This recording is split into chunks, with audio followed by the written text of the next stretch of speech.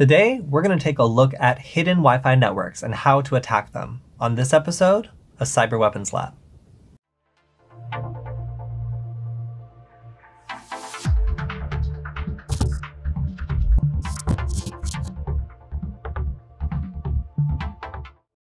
I often get asked about hidden Wi-Fi networks and whether or not they're more secure than a regular one, and in general the answer is no, they're not. Now, this is for a variety of reasons, and these reasons are what we're going to go over today when we look at how we can attack a hidden Wi-Fi network and what exactly that entails. Now, a hidden Wi-Fi network is actually the same as a regular Wi-Fi network. The only difference is that it doesn't include its name in the beacon frame, making it impossible for a device to join the network unless it first knows the name of the network. Now that might seem pretty difficult to do, but in fact it's actually quite easy. And there's a number of ways that an attacker can learn the name of a Wi-Fi network that's hidden without necessarily needing to do some sort of elaborate crazy attack. Now, in brief, one of the ways someone could learn the name of a hidden Wi-Fi network is by monitoring the phone or other device of a, of a person who's connected to that network before.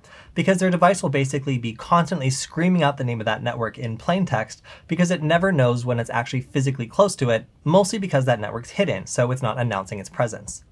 Now this is a surefire way to be able to learn the name of a network. And another one is simply deauthing someone or kicking them off of that network for a moment.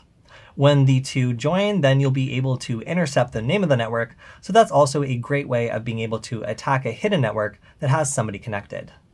Now, the final way of doing this is something we'll be doing today, and that's attacking it with MDK3 and doing an attack against a brute forcing list so we can try to determine the name by just brute forcing it. Now in order to follow along today, you'll need a wireless network card that can be put into monitor mode, like this Alfa wireless card, which you can find in the description or on the Nullbyte article. You can also use a D1 Mini to create a hidden Wi-Fi network if you need a target. Once you have both of these together, then we can begin.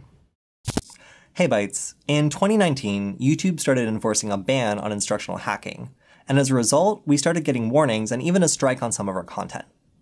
Now, in order to make sure we didn't get taken off YouTube entirely, we had to move some of the more problematic videos over to the Nullbyte website. Now, I understand this is a little bit annoying, but you can still access the content by checking out the link below and in the description.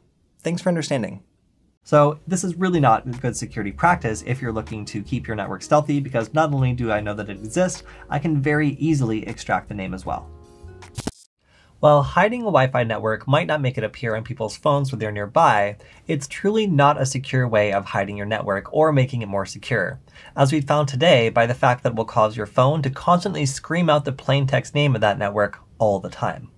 Now, if you want to keep your network more secure, I recommend maybe turning down your Wi-Fi power so it's not broadcast as far, and also making sure to set a really long and secure Wi-Fi password that you don't use in another place. That's all we have for this episode of Cyber Weapons Lab. If you want to follow along with everything we did today, you can check out the link in the description for all of the components we use as well as a walkthrough. And if you have any ideas for future episodes, you can hit me up on Twitter at Kody Kinzie because I'd love to hear from you. We'll see you next time.